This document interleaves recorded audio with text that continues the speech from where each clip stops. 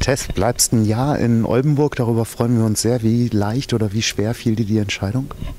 Naja, das geht eigentlich voll. Also ich habe eigentlich schon relativ schnell zu Oldenburg gesagt, mein, mein Ziel ist eigentlich oder das Anfang ist hier zu bleiben. Und wir haben darüber gesprochen und dann war es halt nur noch Vertragssache und dann ist das auch eigentlich erledigt.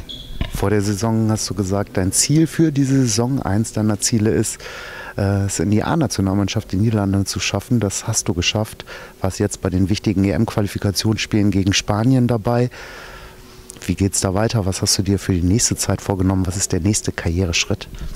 Naja, also zu sagen, dass ich fest dabei bin bei der Nationalmannschaft, finde ich immer ein bisschen schwierig zu sagen, weil ja, wir sind mit drei Torhüter und da kann ja nur eine spielen und er hat das ab jetzt eigentlich noch immer abgewechselt. Also fest dabei würde ich nicht sagen.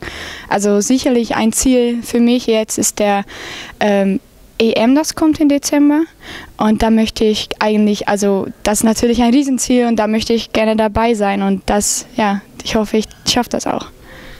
Was meinst du, wie kannst du das schaffen? Du bist ja 20 Jahre alt. Wir treffen dich hier gerade beim Torwarttraining mit äh, Torwarttrainer Sascha Wronzow und all den ganzen anderen Torhüterinnen vom VfL. Was sagst du, ähm, wo würdest du sagen, musst du dich noch verbessern vielleicht? Natürlich muss ich mich noch verbessern. Wenn ich das nicht musste, dann konnte ich ja überall spielen, wo ich wollte. Ja, also das gibt sicherlich noch Punkte. Also es gibt bei mir so Spielen, dass ich super bin, Spielen, dass ich nicht so gut bin.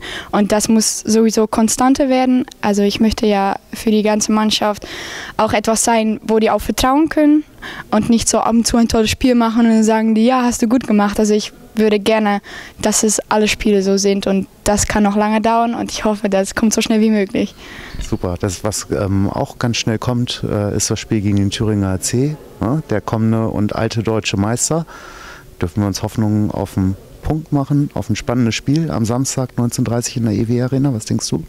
Naja, das wird natürlich ganz schwierig. Also die THC steht oben und ganz oben, ganz weit von den Rest und das machen die auch echt gut. Die haben eine sicherlich tolle Truppe und ja, bei uns natürlich schwierig mit der Ausfall von Alina Otto und Lois Abing. Das ist halt, trifft uns ja auch natürlich schwer und äh, ja, wir machen das mit der Mannschaft, die wir haben. Wir würden natürlich kämpfen, wir würden natürlich die THC jetzt so schwierig machen, wie es geht. Und also zu Hause ist bei uns immer ein Fall, dass wir super spielen können und wer weiß, ist Samstag auch so ein Tag.